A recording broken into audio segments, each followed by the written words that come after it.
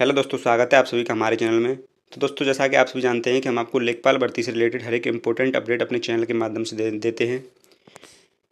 तो इस वीडियो में मैं आपको लेखपाल भर्ती से रिलेटेड कोर्ट केस के बारे में डिस्कस करने वाले हैं। जैसा कि आप यहाँ पर देख सकते हैं हम बात करने वाले हैं डायरी नंबर अठारह एक सौ बाईस दो हज़ार चौबीस की जो कि आप सभी को पता होगा कि पहले डिफेक्टिव लिस्ट में था और डिफेक्टिव लिस्ट से बार हुआ जो एसएलपी तो इसकी जो है हियरिंग की डेट 26 जून 2024 यानी कि आज की दी गई थी। तो इसकी हियरिंग अब हो चुकी है ये केस जो था आपका सीरियल नंबर तेईस पर लगा हुआ था।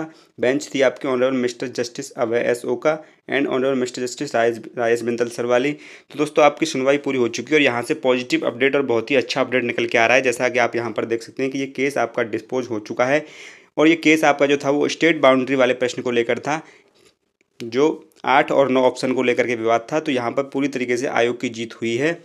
और ये केस आपका डिस्पोज हो चुका है क्वेश्चन भी आपका खारिज हो चुका है। तो दोस्तों, इतनी ही जानकारी देनी थी आपको। इसका जो अगर ऑफिशियल ऑर्डर आएगा तो उसको भी हम आपके साथ डिस्कस करने की कोशिश करेंगे। बाकी ज़्यादा कुछ बताने के लिए है नहीं, और सभी जो केसेस हैं आपके, बाकी प्रश्नों को लेकर के वो आठ जुलाई को लगे हुए हैं, आप सभी को पता ही है। अगर उनसे रिलेटेड कोई नया अपडेट देखने को मिलेगा तो हम आपको अपने चैनल के माध्यम से ज़रूर देंगे। अगर आप चैनल पर नए हैं तो चैनल को सब्सक्राइब करके बेल आइकन को ज़रूर प्रेस कर लें। इतना ही दस वीडियो में। Thank you so much